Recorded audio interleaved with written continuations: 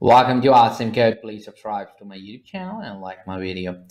In this video, we will learn how to loop through each character of a string. We can use a range-based loop to iterate through each character. First, we are going to try that one. And we can also use a traditional for loop to loop through every character.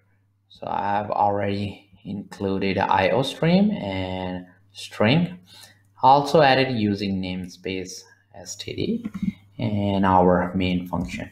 In our main function, I will define a string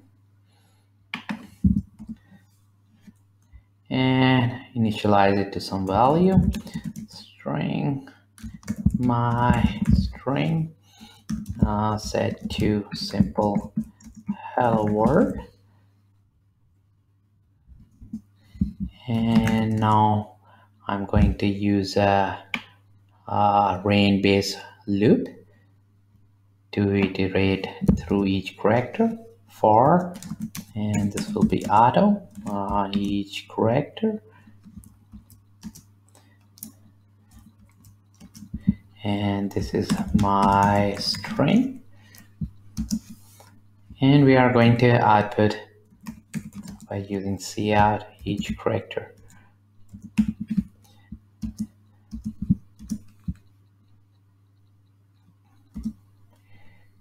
and I will just uh, run our code and check the output.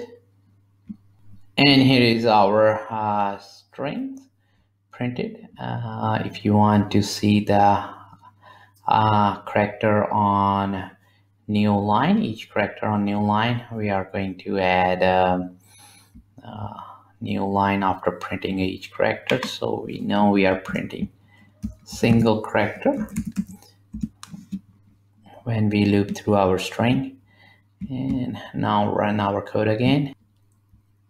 And here is each character printed on a new or separate line. And now we are going to use the traditional for loop. This will be over here.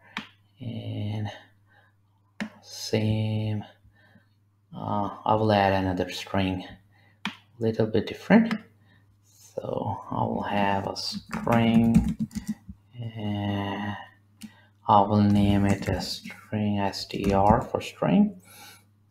And this will be hello world again. Or I will change it to something else so that we don't get confused with the first string. So this will be welcome to Asim code. And now our for loop, this will be of size t, a variable set to zero, i is less than strings length. And then we are going to increment our i and inside our for loop we are going to print each character by using the array notation of a string. This will be string with index i. And here I'm going also going to add a new line character after each uh, character. So uh, those character get printed on a separate line. So I'm just gonna save this program and run. And here is the output for our second string. Welcome to Asim code. We can see over here it's also printing a space character and a new line. I should add one more uh, new line character uh, before uh, printing the second string. This will be over here. I will just output one extra end of line. This will make look it better.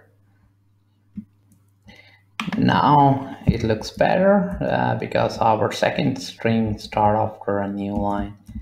To keep on learning, please subscribe to my YouTube channel at same code. Keep supporting me, like my video, and thank you for watching.